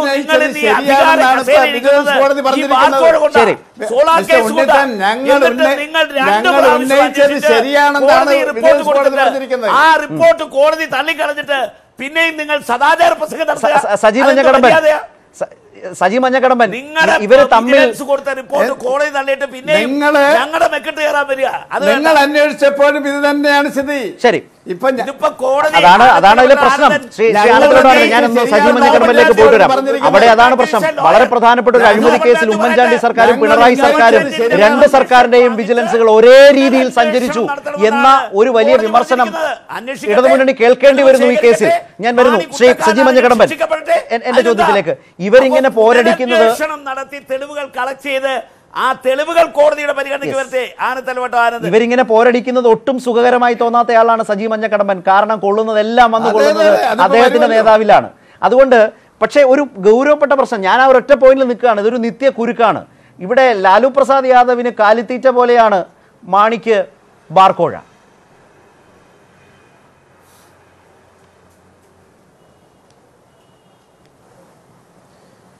ഞങ്ങളത് വിശ്വസിക്കുന്നില്ല. കാരണം ഒരു നിത്യ ഗുരുക്കുമല്ല. ഇത് ഇനിയും അന്വേഷിക്കട്ടെ. മാണിസാർ പറഞ്ഞാലും നൂറ് വട്ടം അന്വേഷിച്ചാലും ഇതിനകത്ത് ഒരു തെളിവ് ഉണ്ടാകാൻ പോകുന്നില്ല. ഇതിനകത്ത് അങ്ങനെ ഒരു സംഭവം ബാർക്കോഴ എന്ന് പറഞ്ഞാൽ ഒരു അഴിമതി മാണിസാറിന്റെ ഭാഗത്ത് ഉണ്ടായിട്ടില്ലെന്ന് അദ്ദേഹത്തിനും കേരള കോൺഗ്രസ് പാർട്ടിക്കും ബോധ്യമുണ്ട്. ഞാൻ പറഞ്ഞല്ലോ ഇവർ ഈ വിജു രമേശ് പറഞ്ഞ തെളിവുകൾ എന്തൊക്കെയാ? കെ എം മാണിസാറിന് നമ്മുടെ പൊൻകുന്നത്ത് ഒരു ബാറുകാരൻ പാലായി കൊണ്ടേ ഇത്ര ലക്ഷം രൂപ കൊടുത്തു. എന്താ തിരുവനന്തപുരത്ത് കൊണ്ടുപോയി വീട്ടിൽ കൊണ്ടുപോയി കൊടുത്തു. ഈ സമയത്തൊക്കെ ഈ ബാറുകാരന് പൊൻകുന്നത്ത് തന്നെ ഉണ്ട് പാലായി വന്നിട്ടില്ല. തെളിവുണ്ട്. ശാസ്ത്രീയമായി തെളിയിക്കപ്പെട്ടിട്ടുണ്ട്. അദ്ദേഹത്തിന്റെ ബിജു രമേശിന്റെ ഡ്രൈവർ കണ്ടു എന്നാണ് പറയുന്നത്? തിരുവനന്തപുരത്ത് വീട്ടിൽ കൊണ്ടേ കൊടുക്കുന്നത്. അമ്പിളി.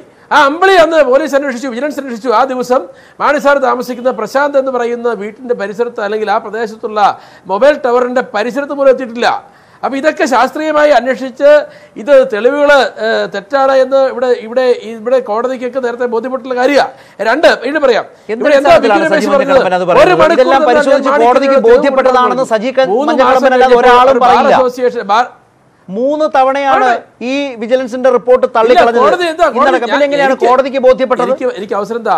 ആ ആ മൂ- ഞാൻ ചോദിക്കട്ടെ മൂന്ന് തവണ യു ഡി എഫ് സർക്കാർ ഭരിക്കുമ്പോൾ അന്നത്തെ വിജിലൻസ് അന്വേഷിച്ചു ഇടതുപക്ഷ ജനാധിപത്യ മുന്നണി ഗവൺമെന്റ് വിജിലൻസ് അന്വേഷിച്ചു ഈ അന്വേഷണത്തിൽ ഒന്നും കണ്ടെത്താനാവാത്ത. ഞങ്ങൾക്ക് ഭയമില്ല. അതല്ലേ സത്യം? ഞാൻ ചോദിക്കട്ടെ കോടതി നിർദ്ദേശം അനുസരിച്ച് നടക്കട്ടെ? വിജിലൻസ് സംഘത്തിന്റെ കള്ളത്തരമാണ് കോടതി ഇന്ന് വലിച്ചു കീറി ഒട്ടിച്ചത്. എന്ത് പൊളിച്ചു? എന്ത് പൊളിഞ്ഞു? ഞാൻ ചോദിക്കട്ടെ പറഞ്ഞത്. കേസ് രജിസ്റ്റർ ചെയ്ത് അന്വേഷിച്ചു ഞാൻ പറയട്ടെ നിങ്ങൾ പറയില്ല? നിങ്ങൾ ഈ പറഞ്ഞ ഞാൻ പറഞ്ഞില്ല ആടിനെ പട്ടിയാക്കുന്ന പോലെ വർത്തമാനം പറയരുത്. കേസ് ചിലരുണ്ടല്ലോ ഞാൻ പറഞ്ഞിട്ട് അച്യുതാനന്ദന്റെ ഒക്കെ പരാതിയുടെ അടിസ്ഥാനത്തിൽ വീണ്ടും തുടരന്വേഷിക്കണമെന്ന് അന്വേഷിക്കണമെന്ന് അന്വേഷിക്കണമെങ്കിൽ അനുമതി വാങ്ങിച്ച് മുന്നോട്ട് പൊക്കോളൂ. ശരിയാണ്? ഞങ്ങൾക്കില്ലാത്ത ഭയം എന്തിനാണ്? ഭയത്തിന്റെ പ്രശ്നമല്ലല്ലോ ഇത് ഗുസ്തി മത്സരമൊന്നും അല്ലല്ലോ. ഭയപ്പെടാനും പോകട്ടെ. ഇത് ഇത് മെറിറ്റിലാണ് ചർച്ച ചെയ്യേണ്ടത്. ഇതൊരു അഴിമതി കേസാണ്. അരനൂറ്റാണ്ട് പാർലമെന്റ് നേതാവിന്റെ രാഷ്ട്രീയ ജീവിതത്തിലാണ് ഈ ചോദ്യചിഹ്നം ഉയരുന്നത്. നോബൽ മാത്യു ഇവിടെ ഇന്നും ബിജു രമേശ് പറഞ്ഞു പബ്ലിക് പ്രോസിക്യൂട്ടറെ അടക്കം വിലക്കെടുത്തു ഉദ്യോഗസ്ഥരെ വിലക്കെടുത്തു. ആ നേതാവ് കേരള കോൺഗ്രസ് പാർട്ടിക്കോ? അല്ല ഞാൻ ശരത്ത് ഒരു കാര്യം പറയാം എനിക്ക് വളരെ വളരെ വളരെ വേദനയോടെ പറയാം ശരത്ത് രാഷ്ട്രീയം സംസാരിക്കുന്ന പോലെ ശരത്ത് സംസാരിക്കുന്നു. ഒന്നെങ്കിൽ എനിക്ക് അവസരം തരിക. പറയൂ, പറയൂ. പറയട്ടെ ഇവിടെ ഇരിക്കുന്ന അല്ലെങ്കിൽ ചർച്ചയിൽ ഇരിക്കുന്ന ആളുകൾ പോലും പറയാത്ത കാര്യങ്ങളാണ് ശരത്ത് പറയുന്നത്. കെ എം മാണി ഇപ്പൊ കുടുങ്ങുന്നു. അങ്ങനെ ഒന്നും കുടുങ്ങുവാണെങ്കിൽ ഞങ്ങൾ നോക്കിക്കോളാം. ഞാനതുകൊണ്ട് പറയട്ടെ ഇവിടെ ഇവിടെ നിങ്ങളുടെ ബാധ്യത. നടക്കട്ടെ. സത്യസന്ധമായ അന്വേഷണത്തിനത് ഏറ്റവും പെട്ടെന്ന് സത്യം വെളിച്ചത്ത് പെട്ടെ. അതാണ് കേരള കോൺഗ്രസ് പാർട്ടിയും കെ എം മാനസാറും പറഞ്ഞത്. എല്ലാവരുടെയും സംശയം അങ്ങ് തീരട്ടെ. അതുകൊണ്ട് ഞാൻ പറഞ്ഞല്ലോ ഇത് മറ്റൊരു ചാരക്കേസായി മാറി യാതൊരു സംശയവുമില്ല. ഒരു കാര്യം കൂടി ഞാൻ പറയാത്തോ പറയാം. ഇത്. ചാരക്കേസിൽ? അല്ലെങ്കിൽ നിരവധിയായ? രാഷ്ട്രീയ നേതാക്കന്മാർക്കും. ആളുകൾക്കുമെതിരെ ആരോപണം ആരെങ്കിലും ഒരു പരാതി കൊടുക്കും. ആ പറയട്ടെ പറയട്ടെ. ആ പരാതിയിന്മേൽ ഒരു അങ്ങനെ കേസ് തേഞ്ഞു മാഞ്ഞു പോകുമോ? ചാനലുകൾ ചർച്ച നടത്തും. ഇവിടെ അല്ലെങ്കിൽ പല ആളുകളും അതിനെതിരെ വിമർശനം ഉന്നയിക്കും. അവസാനം വരുമ്പോൾ ഒരു മിനിറ്റ് പ്ലീസ് അവസാനം വരുമ്പോൾ ആ ആരോപണം ഉന്നയിക്കപ്പെടുന്ന ആൾ അദ്ദേഹത്തിനെതിരെ തെളിവില്ലാത്തതിന്റെ പേരിൽ ആ കേസ് തള്ളിപ്പോയ എത്രയോ സാഹചര്യങ്ങളുണ്ട്. അതുപോലെ തന്നെ അസന്നിഗ്ധമായിട്ട് പറയുന്നു ആര് പരാതി കൊടുത്താലും ആ അവരുടെ പരാതി നോബലിന്റെ പരാതി ഞങ്ങൾ അന്വേഷിക്കട്ടെ. അല്ലെങ്കിൽ വി എസ് അച്യുതാനന്ദന്റെ പരാതി ഞങ്ങൾ അന്വേഷിക്കട്ടെ. അന്വേഷിച്ച സത്യാവസ്ഥ വരട്ടെ. ഞങ്ങൾക്ക് കേരള കോൺഗ്രസ് പാർട്ടി ചെയർമാനോ കേരള കോൺഗ്രസ് പ്രവർത്തകർക്കോ ഇല്ലാത്ത ടെൻഷൻ ശരത്തിനും ഇവിടെ മറ്റൊരു രാഷ്ട്രീയ പാർട്ടിക്കാർക്കും വേണ്ട. യാതൊരു സംശയവും വേണ്ട. ഇത് നിങ്ങളുടെ കുടുംബക്കാര്യമല്ല സർ. ഇത് നാട്ടിലെ ഖജനാവിലെ പണം അല്ലെങ്കിൽ ആ വിധത്തിൽ അഴിമതിക്ക് കൂട്ടുനിന്നോ അധികാരത്തിലിരുന്നപ്പോൾ എന്നുള്ള ചോദ്യമാണ്. ഇത് നാടിന്റെ പ്രശ്നമാണ് നാട്ടുകാരുടെ പ്രശ്നമാണ്. അത് നിങ്ങളുടെ ടെൻഷന്റെ മാത്രം പ്രശ്നമൊന്നുമല്ല. എന്താണ് സംശയം? എന്താണ് സംശയം? സംഭവം. ഭരണാധികാരത്തിൽ ഇരുന്നുകൊണ്ട് ഒരു കോടി കോഴ വാങ്ങിയെന്നുള്ള ആക്ഷേപം തന്നെയാണ് ഒരു കോടി രൂപ ഒരു കോടി രൂപ കൈപ്പറ്റി കോഴ കൈപ്പറ്റി എന്നുള്ള ആരോപണം ഭരണാധികാരത്തിൽ മന്ത്രി എന്ന നിലയിലാണ് കെ മാണിക്കെതിരെ ആരോപണം വന്നത്? ഇവിടെ ഇവിടെ സത്യപ്രതിജ്ഞ കാണണം. സത്യപ്രതിജ്ഞാ ലംഘനമല്ലേ? സത്യപ്രതിജ്ഞ ലംഘനമല്ലേ? ഈ വിഷയവുമായി ബന്ധപ്പെട്ട് അത് കോടതിയിൽ കൈപ്പറ്റി അത് കോടതിയിൽ ചെയ്യാം. അത് കോടതിയിലാണ് തെളിയിക്കേണ്ടത്? കോടതി ഏതായാലും കോടതിയിൽ കോടതി ഏതായാലും തുടരന്വേഷണം നടത്തി മുന്നോട്ട് പോകാനാണല്ലോ പറഞ്ഞത്. നോബിൾ മാത്യു സർട്ടിഫിക്കറ്റ് നോബിൾ മാത്യു എന്റെ സർട്ടിഫിക്കറ്റ് ഞാൻ തിരിച്ച് നിങ്ങൾക്കും തരാൻ ഉദ്ദേശിക്കുന്നില്ല. നോബിൾ മാത്യു ഈ കേസിൽ ഈ കേസിൽ അദ്ദേഹത്തിന്റെ കൂടി വാദം കേൾക്കൂ. സമയമുണ്ടെങ്കിൽ സജി ഒന്ന് തുടരുക. നോബൽ മാത്യു. ഇന്നും ബിജു രമേശ് പറഞ്ഞത് വോയിസ് അനാലിസിസ് ടെസ്റ്റ് നടത്തിയിട്ടില്ല. ഒന്ന് വോയിസ് അനാലിസിസ് ടെസ്റ്റ് നടത്തിയിട്ടില്ല. ഒന്നാമത്തെ പ്രശ്നം. രണ്ട് കെ പി സതീശൻ പറഞ്ഞത് ഡിവൈഎസ്പി വിജിലൻസിലെ ഡിവൈഎസ്പി എന്നെ വന്ന് കണ്ടപ്പോൾ ഞാൻ പറഞ്ഞു പഴയ പ്രോസിക്യൂട്ടർ പറഞ്ഞു ഇന്ന് പറഞ്ഞതാണ് ഞാൻ നിങ്ങൾ ചെയ്യേണ്ട കാര്യങ്ങൾ ഇതാണ്. നിങ്ങൾ ഇത് ചെയ്തിട്ട് വരൂ. ഇതിൽ തെളിവുകളുണ്ട്. നിങ്ങൾ ഇങ്ങനെ ക്ലോഷർ റിപ്പോർട്ട് കൊടുക്കരുത് എന്ന് പറഞ്ഞ് എല്ലാം ചെയ്തു വരാം എന്ന് പറഞ്ഞു പോയ വിജിലൻസിലെ ഡിവൈഎസ്പി പിറ്റേ ദിവസം പ്രോസിക്യൂട്ടർ പോലും അറിയാതെ ക്ലോഷർ റിപ്പോർട്ട് കൊടുക്കുകയായിരുന്നു. ആ ഒഴിവാക്കപ്പെട്ട പ്രോസിക്യൂട്ടർ പറഞ്ഞത് ഞാൻ അന്ന് പറഞ്ഞത് ശരിയായി. ശരിയായി സംഭവിച്ചു. ആ റിപ്പോർട്ടും കോടതി തള്ളി. വളരെ ഗൗരവപ്പെട്ട നിലയിലേക്ക് തെളിവുകൾ ശേഖരിക്കാനാവുമോ? സജി ആവർത്തിക്കുന്നത് ഈ കേസിൽ തെളിവുകളേ ഇല്ല. തെളിവുകളൊന്നുമില്ല.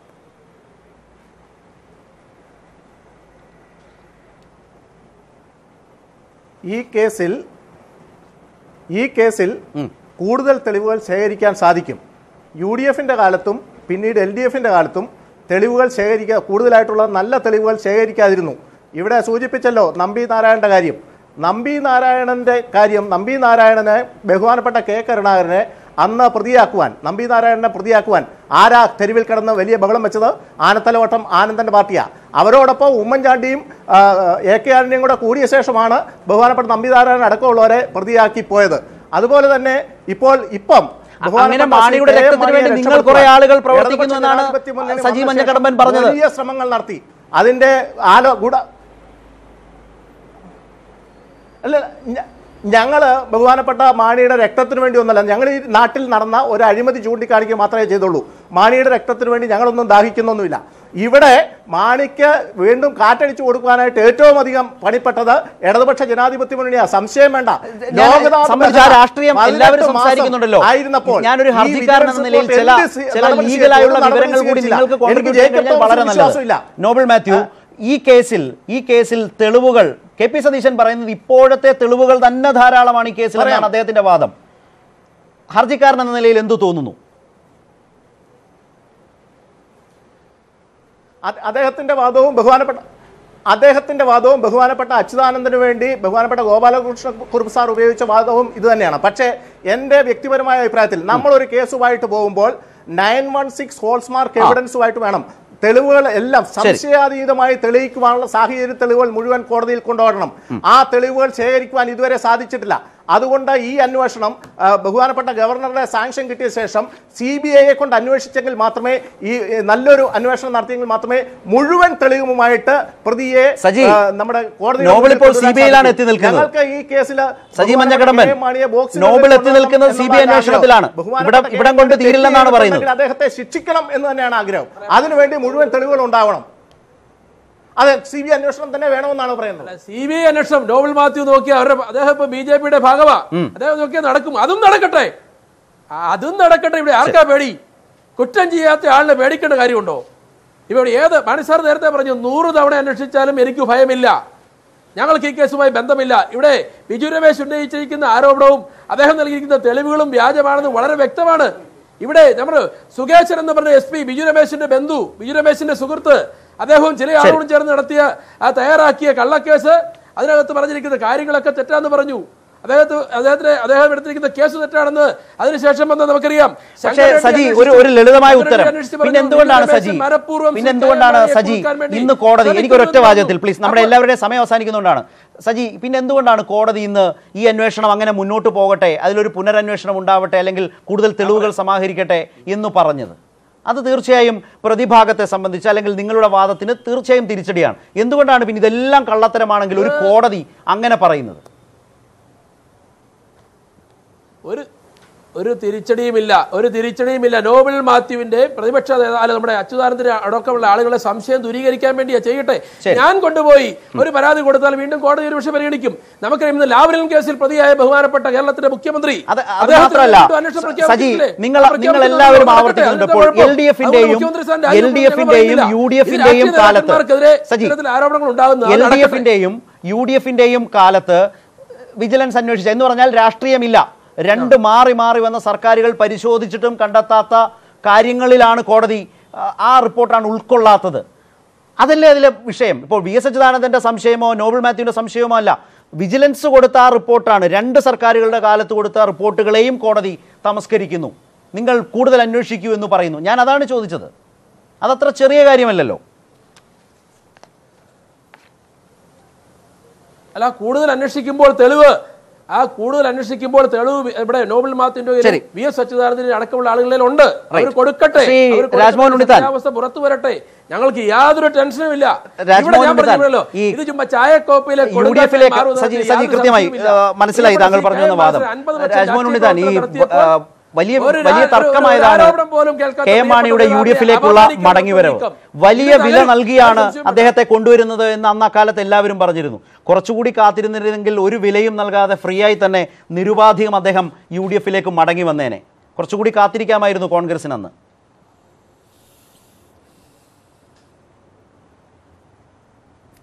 അല്ല അത് ഒരു രാഷ്ട്രീയ വിഷയമാണ് അത് അവിടെ ഇരിക്കട്ടെ. പക്ഷേ ഇവിടെ നമ്മളൊരു കാര്യം മനസ്സിലാക്കണം. ഹർജിക്കാരനായ നോബൽ മാത്യു തന്റെ ചർച്ചയുടെ അവസാന ഘട്ടത്തിൽ ചില കാര്യങ്ങൾ തുറന്നു പറഞ്ഞു. ഞാൻ ഈ ചർച്ചയിൽ ശരത്തിനോട് ഒറ്റ ചോദ്യം ചോദിക്കുന്നു. ശരത് ആയിരം പ്രാവശ്യം ഈ ചർച്ചയിൽ പറഞ്ഞു. ഈ കെ പി സതീശൻ എന്ന് പറയുന്ന സ്പെഷ്യൽ പ്രോസിക്യൂട്ടർ ഈ കേസിൽ അറുപത് ശതമാനം തെളിവുണ്ടെന്നും അതുകൊണ്ട് ഇന്ന ഇന്ന കാര്യങ്ങൾ ചേർത്ത് വേണം ഈ റിപ്പോർട്ട് കോടതിയിൽ കൊടുക്കാനെന്നും വിജിലൻസിനോട് പല പ്രാവശ്യം പറഞ്ഞു എന്നാണ് പറയുന്നത് ആ കെ പി സതീശനെ സ്പെഷ്യൽ പ്രോസിക്യൂട്ടർ സ്ഥാനത്ത് നിന്ന് മാറ്റിയ ആരാണ്? എന്തിനാ മാറ്റിയത്? അപ്പൊ ആ മാറ്റിയത് ഉമ്മൻചാണ്ടി അല്ലല്ലോ? ശരി. യു ഡി എഫ് അല്ലല്ലോ? അത് മാറ്റിയത് ആരാണ്? അയാളെ എന്തിനു മാറ്റി. അപ്പൊ ആരാണ് ഈ കേസ് അട്ടിമറിക്കാൻ ശ്രമിച്ചത്? പ്രസക്തമായ ചോദ്യമാണ്. പക്ഷേ ഉത്തരം പ്രോസിക്യൂട്ടർ കൃത്യമായ നിർദ്ദേശം അതിനൊരു ലളിതമായ മറുപടി യുക്തിസഹമായി കൊടുക്കാനാകുമെങ്കിൽ ചെയ്യുക. നമുക്ക് ചർച്ച അവസാനിപ്പിക്കാം. അല്ല പബ്ലിക് പ്രോസിക്യൂട്ടറെയും ഉദ്യോഗസ്ഥന്മാരെയും അവരുടെ കാലാവധി കഴിയുമ്പോൾ അവരെ മാറ്റും. അങ്ങനെ മാറ്റിയതല്ല. അവരെല്ലാം നിയമിക്കപ്പെട്ട് കഴിഞ്ഞാൽ ആദ്യമായി യു ഡി എഫിന്റെ കാലത്ത് നിയമിച്ചത്. ആ അങ്ങനെ അല്ലാതെ വേറെ. പ്രത്യേക ഈ കേസിൽ അങ്ങനെ മാറ്റിയതല്ല. ഒരു കേസിന്റെ. പാതി വഴിയിൽ അനിഷ്ടകരമായ ഒരു നിലപാടെടുത്ത അദ്ദേഹത്തെ മാറ്റിയത് ഉദ്യോഗസ്ഥരല്ല. സർക്കാർ തീരുമാനമാണ് നിയമവകുപ്പാണ് യു ഡി എഫ് ഗവൺമെന്റ് കാലത്ത് നിയമിക്കപ്പെട്ട ഉദ്യോഗസ്ഥർ ആ ഉദ്യോഗസ്ഥനെ തന്നെ വെച്ചേക്കണമെന്ന് വ്യവസ്ഥയില്ല. നിങ്ങൾ ഗവൺമെന്റ് വരുമ്പോഴും എൽ ഡി എഫിന്റെ കാലത്ത് നിയമിക്കുന്ന ഇത്തിരി ആൾക്കാരെയൊക്കെ മാറ്റാറുണ്ട്. അത് ആ- ഉദ്യോഗസ്ഥ ശ്രീ ആനത്തലോട്ടം ആ ഉദ്യോഗസ്ഥനെ വെച്ചത് യു ഡി എഫ് അല്ല. ആ ഉദ്യോഗസ്ഥനെ നടപടിക്ക് ആനന്ദൻ വിധേയമാ- കഥ അറിയാതെ ആട്ടം കാണുന്നു കെ പി അല്ല. സതീശനെ വെച്ചത് ഞങ്ങളല്ല. ഇടതുമുന്നണിയാ ഈ കെ പി സതീശനെ ഈ- വെച്ചത് യു ഡി എഫ് അല്ല. എൽ ഡി എഫ് ആനന്ദം പറഞ്ഞു ഞാൻ പറഞ്ഞോട്ടെ ഈ ഗവൺമെന്റ് കാലത്ത് സതീശനെ സ്പെഷ്യൽ പ്രോസിക്യൂട്ടർ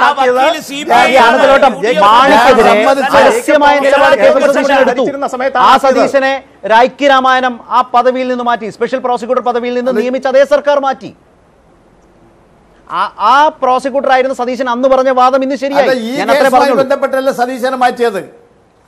റൈറ്റ് ഏതായാലും അതിന് ആ- സതീശനെ മാറ്റിയത് ഈ കേസുമായി ബന്ധപ്പെട്ടുള്ള അല്ല. അല്ലാതുള്ള പ്രശ്നങ്ങൾ സതീശന്റെ മേൽ മാറ്റുന്നതിനുണ്ട്. ശരി. അതേതായാലും കാര്യം പറയട്ടെ? അതൊരു പുതിയ വെളിപ്പെടുത്തലാണ്. അന്ന് നിങ്ങളുടെ ഭരണകാലത്ത് കാണിച്ച അഴിമതി അഴിമതി അഴി- അഴിമതി പറഞ്ഞത് ശരിയെന്ന് തെളിയലാണെന്ന് വിജിലൻസ് കോടതിയുടെ വിധി. അത്രേ. ഉള്ളൂ. തീർച്ചയായും. രാഷ്ട്രീയ- പരാമർശമാണ്. പറഞ്ഞത് ഉണ്ണിത്താനും കൂട്ടരും പറയുന്ന വാണി അഴിമതി നമ്മുടെ സമയം- നമ്മുടെ സമയം അവസാനിക്കുന്നു. കോടതിയുടെ വിധിന്യായം. നമ്മുടെ സമയം അവസാനിക്കുന്നു. ഏതായാലും അതൊരു രാഷ്ട്രീയ പ്രശ്നമായി തുടരുകയാണ്. കോടതി ഏതായാലും ഈ അഴിമതി അന്വേഷണം മുന്നോട്ട് പോകണം എന്ന ശക്തമായ നിലപാട് സ്വീകരിച്ചു. പക്ഷേ അതിനെ ഏത് നിലയിലും നേരിടും. ഒരു തരത്തിലുള്ള ആശങ്കയുമില്ല എന്ന് മാണി ഗ്രൂപ്പും കെ എം മാണിയും നിലപാട് സ്വീകരിക്കുകയാണ്. സർക്കാരും ഈ ഉത്തരവിനെ ഒരർത്ഥത്തിൽ തിരിച്ചടിയായി തന്നെ കാണേണ്ടതാണ്. കോടതി പൊളിച്ചത് മാണിയുടെയും വിജിലൻസിന്റെയും ഒത്തുകളിയാണോ എന്ന ചോദ്യത്തിന് എൺപത് ശതമാനം ആളുകളും എഫ് ബി പോളിലൂടെ അഭിപ്രായപ്പെട്ടിരിക്കുന്നു. അത്തരമൊരു കൃത്യമായ ഒത്തുകളി തന്നെയാണ് ഈ കോടതി വിധിയിലൂടെ ഇല്ലാതാകുന്നത്. അതുകൊണ്ടാണ് പ്രൈം ഡിബേറ്റ് ആരംഭിച്ചപ്പോൾ കോടതിക്ക് ബിഗ് സല്യൂട്ട് എന്ന് പറഞ്ഞത്. അല്ല എന്ന് കരുതുന്നത് വെറും ഇരുപത് ശതമാനം ആളുകൾ മാത്രം. വളരെയധികം നന്ദി. ശ്രീ രാജ്മോഹൻ ഉണ്ണിത്താൻ ശ്രീ ആനത്തിലോട്ടം ആനന്ദൻ ശ്രീ സജി മഞ്ഞക്കടമ്പൻ എന്റെ സുഹൃത്ത് സജി അതുപോലെ തന്നെ നോബിൾ മാത്യു ശ്രീ എ സജീവൻ സഹകരിച്ചതിൽ. പ്രൈം ഡിബേറ്റ് അവസാനിക്കുന്നു. നമസ്കാരം.